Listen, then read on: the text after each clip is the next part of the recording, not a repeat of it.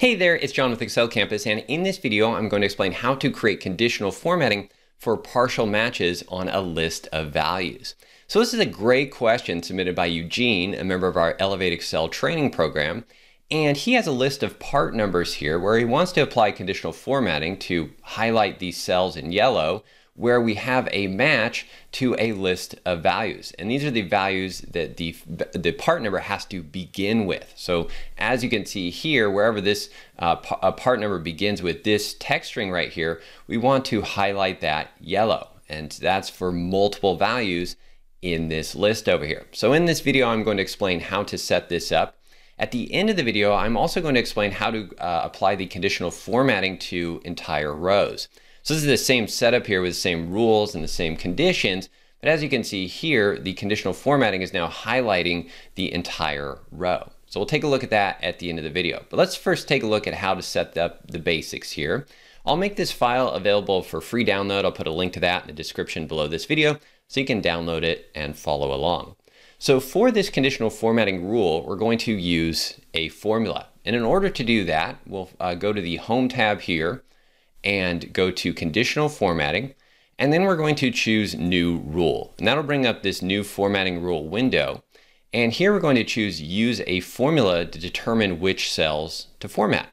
And as you can see down here, it says that it will format values where this formula is true. So the formula needs to return a true or false value in order to apply the conditional formatting. So this is where we can write our formula. However, I like to write the formula in a cell first and then copy and paste it into here. It makes it, it's just easier to write the formula, validate it, and make sure it's working. So we'll go ahead and do that first. And we're going to just put our formula right here in cell B3. It Doesn't matter where you put it, but it, it should be in an adjacent cell in the same row uh, so we can evaluate and copy it down. And the formula or the function we're going to use is COUNTIF. Now there's a lot of different ways to do this, a lot of different lookup formulas you can use.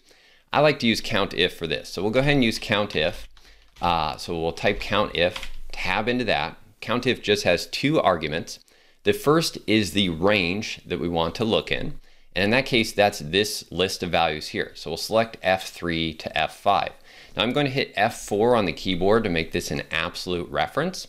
And uh, that'll be our range. Now we're going to uh, type a comma. Oh, I should just mention I'm making that an absolute reference because as we copy the formula down here, this column, we want to make sure that this reference stays the same on that range. That's an absolute reference with those dollar symbols.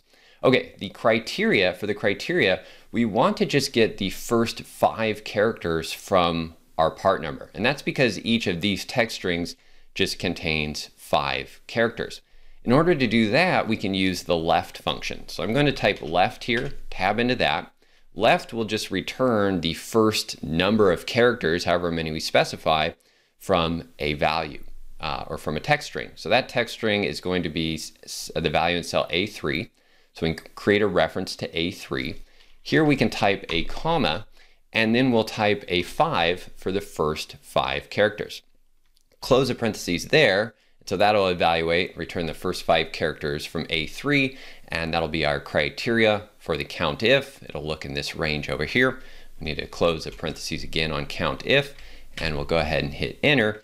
And as we can see, that returns a one. And that's because the first five characters of this part number are found in this list. It's this first one right here. Now we can copy this down. We'll go ahead and copy the formula all the way down. And now we can see we get a list of ones and zeros. And this means anytime we have a one, this means COUNTIF has found the first five characters in our list of values over here. So that means it's uh, returning a true. Uh, now, the conditional formatting manager wants us to create a formula that returns a true or false, but we can also just create a formula that returns ones and zeros, or any number other than zero uh, will be a true, and zero will be a false. So that's fine as well. We don't necessarily have to return a true or false. So now that we have our formula here, we can take this, I'm just going to copy the formula text, hit Control C to copy that, and we'll go create our conditional formatting rule. So again, Home tab of the ribbon, conditional formatting dropdown, we'll choose New Rule, uh, use a formula, and right here we're going to paste our uh, conditional formatting rule. Now, like I said before, you can write the formula here. You do not need to write it back in Excel. If you know COUNTIF really well, you, and the left function, you can definitely write it here.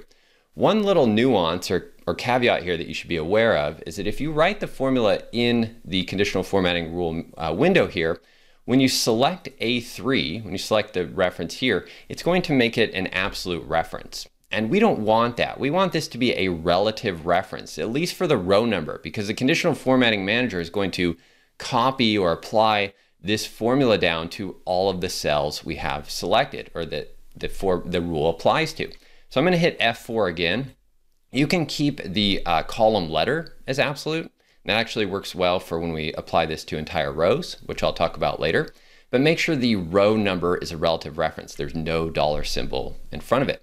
Now we'll apply the formatting. Click the format button. And of course, with conditional formatting, you can do fill colors, font colors, number formats. We'll just choose fill color here, choose this yellow color, hit OK, and then we'll hit OK again. And as you can see now, that's applied the conditional formatting, but it applied it to this cell here, which isn't what we want. And that's because I forgot a step. And I purposely did that because I often forget this step, and you probably will too. And that step is to first, before we create the conditional formatting rule, is to first select all the cells we want to apply it to. Now, if you forget to do that, like I just did, it's okay. We can still fix it. So we'll again go Home tab, Conditional Formatting, and then we'll go to Manage Rules. And from here, you might need to change this to this worksheet to see the rule listed here, depending on what cell you have selected. So change it to this worksheet. Here you will see the rule. The rule looks good, but instead of applying it to B3, we want to apply it to A3 to A20. A3 to A20. So we'll select that. Now we'll hit apply. And now, as you can see, the conditional formatting has been applied to all of these cells.